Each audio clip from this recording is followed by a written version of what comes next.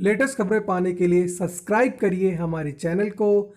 दबाइए इस घंटी के बटन को, पाएँ लेटेस्ट खबरें सबसे पहले।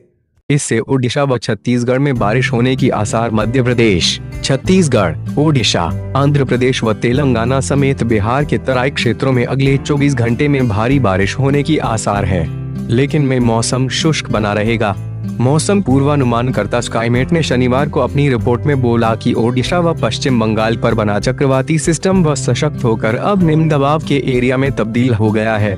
दक्षिणी छत्तीसगढ़ के पास एक चक्रवाती सिस्टम बना हुआ है। इससे ओडिशा व छत्तीसगढ़ में बारिश होने की आसार है। इसके अतिरिक्त विदर्भ, मराठवाड़ा व दक्षिणी मध्य प्रदेश, तेलंगाना व उत्तरी तटीय आंध्र प्रदेश में भी मध्यम से भारी बारिश जारी रहेगी। पूर्वी मध्य प्रदेश के अधिकतर हिस्सों में पिछले 24 घंटों के दौरान मध्यम से भारी बारिश हुई। स्काईमेट ने बोला कि अगले 24 घंटों में विदर्भ, मराठवाड़ा व पश्चिमी तट के कई हिस्सों में मध्यम से भारी बारिश हो सकती है।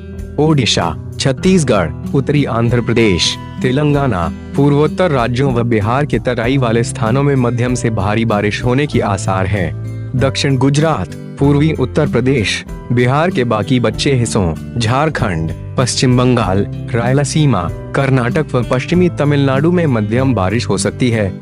पिछले 24 घंटों के दौरान विदर्भ, मध्य प्रदेश, दक्षिण कोंकण, गोवा, तटीय कर्नाटक व छत्तीसगढ़ के कुछ हिस्सों में भारी बारिश हुई।